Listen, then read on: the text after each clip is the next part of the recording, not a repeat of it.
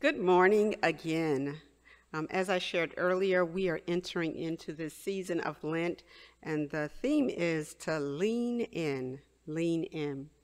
Today, the first set in this series is called Take the Test. Take the Test. Around the world, when kids, or, or I shouldn't say kids, uh, young adults are about 15 or 16 year, years old, they look forward to something. They look forward to taking a driver's test. They usually seek out lessons. They try to get in practice.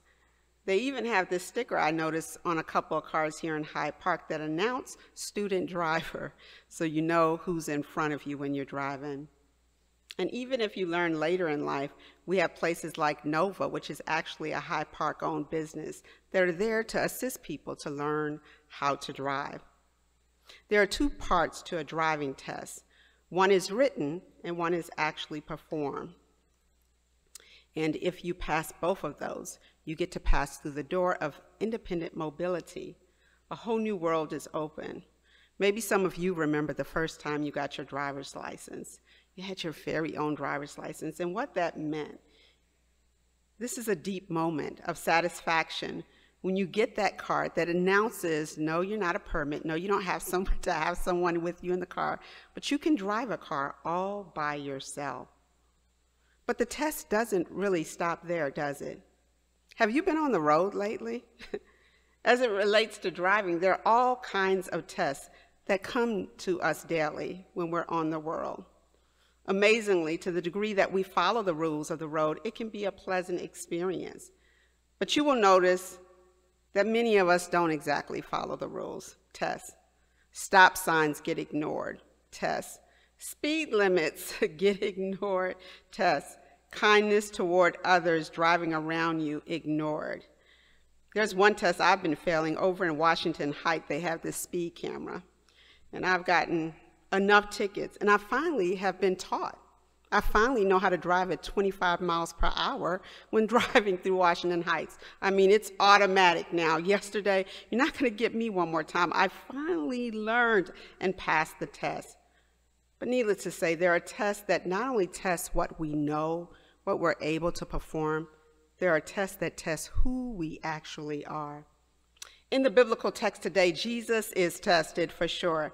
At the beginning of Jesus' ministry, he took time away to be all by himself.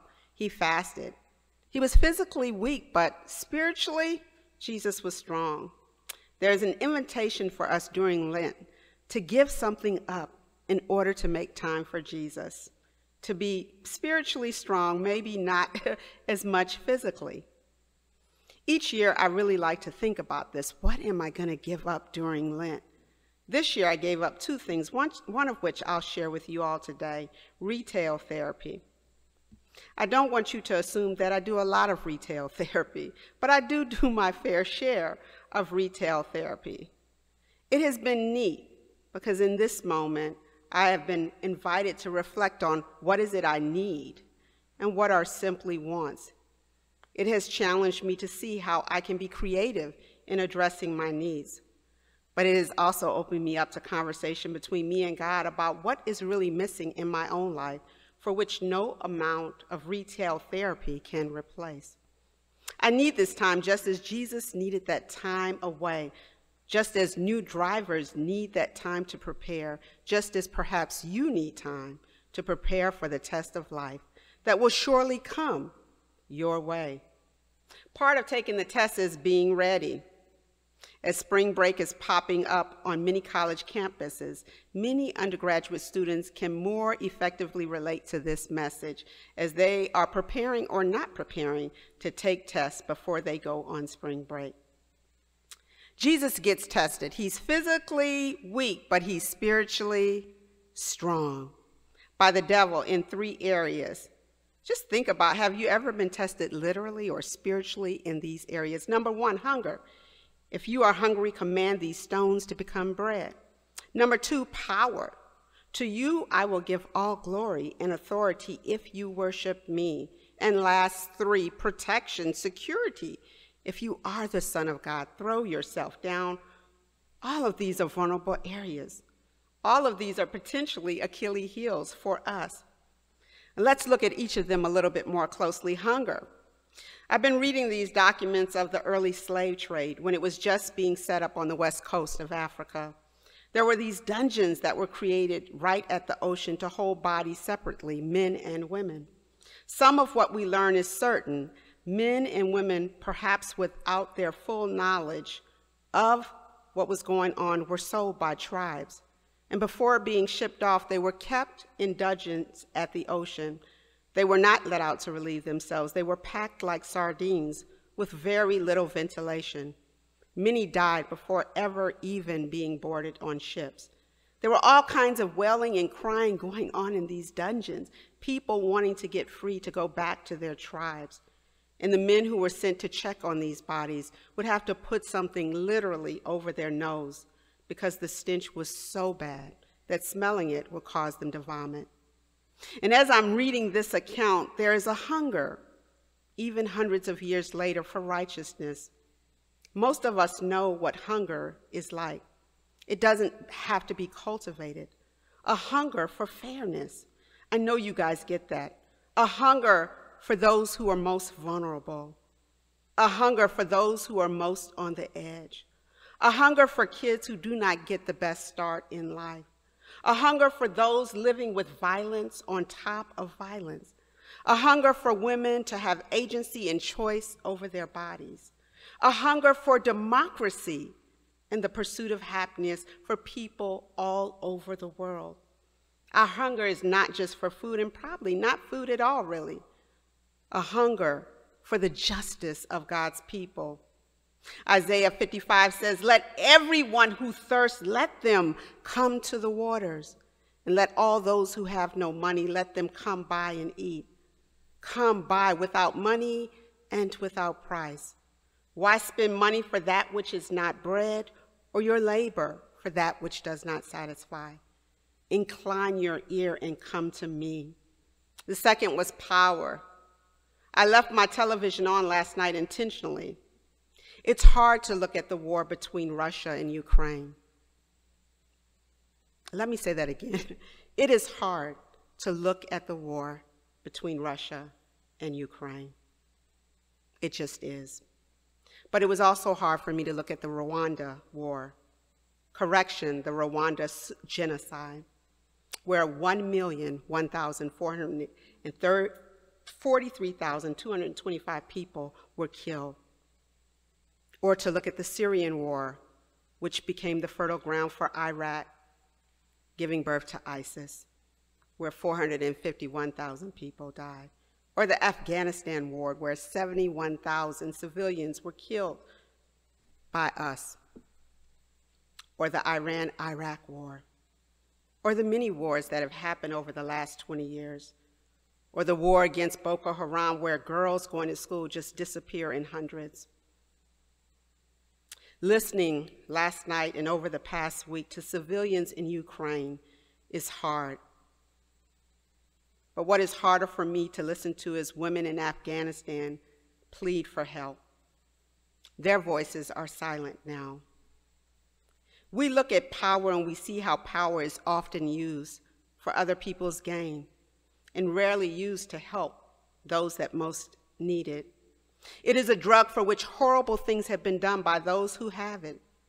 Very few can handle it, and there should be lots of checks and balances and we can see through word that, after, that often we use it to protect only our interests, like why is the U.S. interested in Ukraine? Jesus recognized this temptation right away. We have the power we need to do good in the world. We can use power for good, but we also can use power to really do some horrific things. The last temptation was protection. Most of us want to feel safe. A whole campaign was run off the plan for that somehow Americans were not safe. We are living in rough times. America is at risk. Our fears and our anxieties run high. We can even see it in our kids COVID, violence, wars, peer pressure, family drama, crime. The list could go on. It's like duck, duck, goose, you're it. One of my friends I hadn't seen in months, and I saw her last week, and I was talking. And it shocked me when, she, when I learned that she had been carjacked, that her car had been taken literally in the night at Best Buy, and that it had taken months to repair it and get it back in order. At first, she thought about giving it up until she went to the dealership, and then it was like, maybe I better get my car fixed after all. Protection, safety. We wanted peace of mind, having to look over our shoulders, having to be vigilant. In the words of the rap artist Kendrick Lamar, we gonna be all right. We gonna be all right. That's what we hope for in protection. Jesus' tests involve real issues that most of us can relate to. We can relate to hunger for justice. We can relate to power. We can relate to protection. And in each instance, Jesus turns to God. And Jesus, in turning to God, declares, we going to be all right. Could there be a slight hint for us today? I notice with the kids, as they grow older, they become more and more independent. But when life is uncertain for a young person, they go back to their parents, don't they? Why?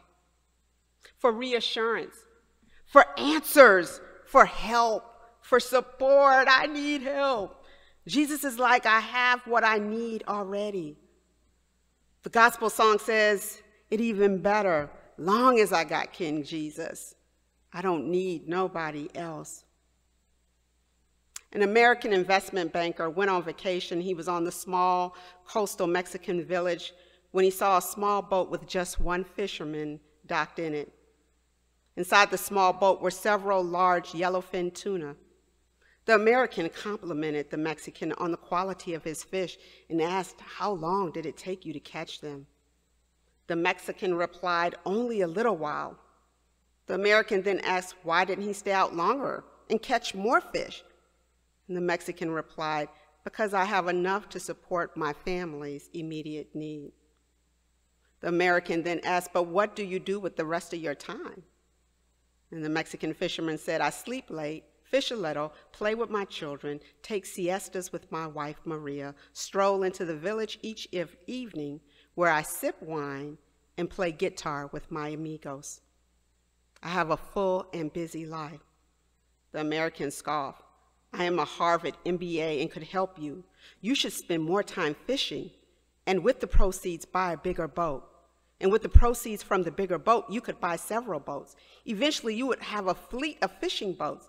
Instead of selling your catch to a middleman, you would sell directly to the processor, eventually opening your own cannery. You would control the product, the processing, and distribution. You would need to leave this small coastal village and move to Mexico City, then LA, and eventually New York City, where you will run your expanding enterprise. The Mexican fisherman asked, But how long will all of this take? To which the American replied, 15 to 20 years. But what then? asked the Mexican. The American laughed and said, That's the best part. When the time is right, you would announce an IPO and sell your company stock to the public and become very rich, you would make millions. Millions? Then what? said the Mexican. The American said, then you would retire, move to a small coastal fishing village where you would sleep late, fish a little, play with your kids, take siestas with your wife, stroll to the village in the evenings where you could sip wine and play your guitar with your amigos. Nah, the devil tempts us with what we think we don't have. Part of our test is realizing what we do have. It's always been easier to see what we don't have. I'm always trying to tell my son what he has. Probably need to tell myself too. And maybe we all need to remind ourselves that we are so blessed. We have a home. We have an awesome faith community and all kinds of blessings that are knocking on our door daily. We have laughter and good conversations, and we have somebody we can call up personally. We don't have to go through hoops. You guys can even have my personal phone number, it's out there. We have Bibles and Bible studies. We have time to stroll in the park, sip some wine, and listen to good music. And we can continue to help others with our stewardship financially and time wise. And we can still hunger for justice all over the world because it is needed. And when we are in, we can always turn to God. When we are in trouble, we can turn to God and sometimes each other. Let all who thirst, says Isaiah 55, and hunger come to God. Our hunger, our power, and protection are tied up in God and each other. We reject capitalism that always places profit and power over people. We, like the humble fishermen, have so much already. Sometimes we just need to remember that we have it. So, I know I don't have to convince you. You all know tests will come in our life. I have one friend, her test must be driving because every time I'm on the phone with her, she's talking to all these cars around her. And I'm like trying to figure out is she talking to me or is she talking to the cars? But all of us get different kinds of tests. We don't get the same kind of test. And maybe your test is parenting. Maybe your test is being a student. Maybe your test is really being a follower of Jesus Christ. Maybe your test is your mouth and what comes out of it. Maybe your test is your heart and the things that you think secretly about. But tests come, tests will arrive, and sometimes we'll fail them, and sometimes we pass them, and sometimes we don't even know how we did on the test. But each test, if we're humble enough, is there to teach us if we're willing to learn. And when we fail, the beauty of life is you get to take the test again. We don't know what's going to be on the test, but like Jesus, we are not alone.